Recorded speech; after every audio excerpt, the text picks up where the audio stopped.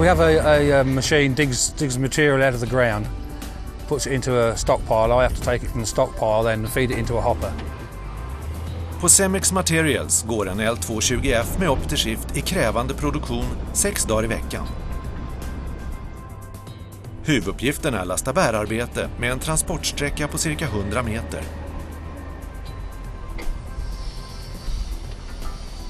Ett perfekt arbete för en maskin med lockup. It actually makes it more smoother on the ride when it when it comes in because it's dropping your engine revs lower. You can feel the, the gear shift so smooth, and uh, you get a light come on the dashboard telling you that uh, the, the transmission's working properly. And it, it's really a comfortable ride and so smooth. It's, it's a privilege to drive, it's a pleasure.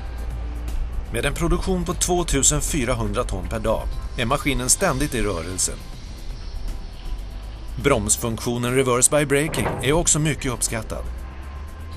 It is really good, yeah. It's very handy, especially when, when you, you're, backing away from a loading hopper or a, or a heap.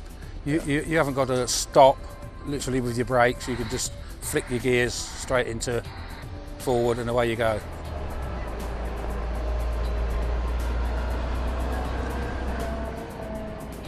För CMX innebär nya Optishift inte enbart högre produktivitet och bättre förarkomfort. Man har även noterat en klar minskning av bränsleförbrukningen.